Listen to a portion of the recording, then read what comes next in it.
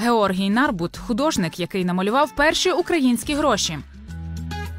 Купюру у 100 гривень назвали справжнім шедевром.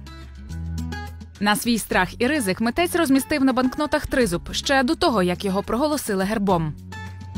Нарбут любив поводитись епатажно, гуляв Києвом із старовинною шаблею, а Петербургом у козацькому жупані та шароварах.